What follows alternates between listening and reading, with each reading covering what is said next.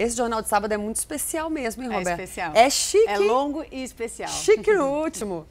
Gente, não é preciso ter muito para doar, não, viu? Com certeza não.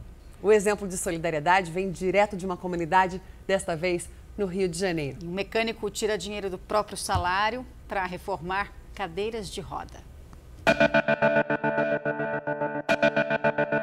A gente ajuda sempre que possível, sempre. É trabalho.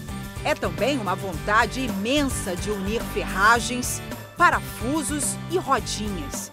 Em um lugar tão simples, o trabalho virou missão. A causa é nobre e ela pode estar por toda parte. Em uma das ruas do subúrbio carioca, o que seria mais uma oficina mecânica se revela como o endereço da solidariedade. E aqui ela tem rosto e nome. Luiz Henrique Gomes Marques. Luizinho da Vila Cruzeiro na vizinhança, aquele parceiro de todas as horas. Um mecânico boa praça que gosta de ajudar. Simples assim. A gente que mora em comunidade carente, a gente sempre tem a vontade de melhorar e de ajudar as pessoas. Então a gente, quanto mais a gente ajuda o próximo, que recebe um muito obrigado, não tem preço, a gente vai continuar fazendo sempre. Luizinho nasceu e cresceu na Vila Cruzeiro, muito próximo do tráfico de drogas. Preferiu desviar do caminho de tantos conflitos. Ele mudou o enredo da própria vida, mas viu que sozinho poderia fazer muito pouco. Então uniu a comunidade. É, a gente implantou a associação na comunidade para ajudar os moradores. Tá? Ajudava com, com muita dificuldade, porque na comunidade realmente ninguém olha para os projetos sociais, ninguém procura saber quem está pisando na lama, no esgoto. Então, quer dizer, muita dificuldade mesmo. Quando o trabalho chegou ao fim na associação, Luizinho se reinventou. Porque teve o processo de eleição, né? A democracia. E a gente acabou perdendo a, eleição e a gente, o que, que eu fiz? Continuei do lado solidário. Aí eu vim pro lado das cadeiras. Foi por isso que surgiu esse número de cadeiras que a gente vem conseguindo doar para as pessoas. Nascia uma ideia original. As ferramentas o Luizinho já tinha, a boa vontade também. Na oficina do Luizinho, os motores dos carros dividem o espaço com as rodinhas. A prioridade são elas. Já cheguei a ter aqui umas oito cadeiras de rodas.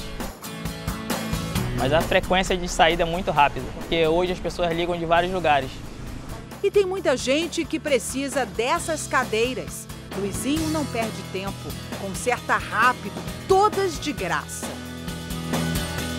Às vezes eu nem conheço a pessoa, porque às vezes são pessoas de longe, pessoas carentes. Ah, tem uma senhora precisando de tal lugar. Aí vem aqui alguém também que está fazendo um favor, pega as cadeiras, leva para a pessoa. E com o nosso trabalho as pessoas acabam ligando para a gente também e pedindo a gente para ir buscar em alguns lugares. E a gente vai, busca e passa automaticamente para outras. É doação de cadeiras, de generosidade. Luizinho tem gastos com as reformas e o dinheiro das peças. De onde vem? Eu compro do meu próprio dinheiro do meu trabalho.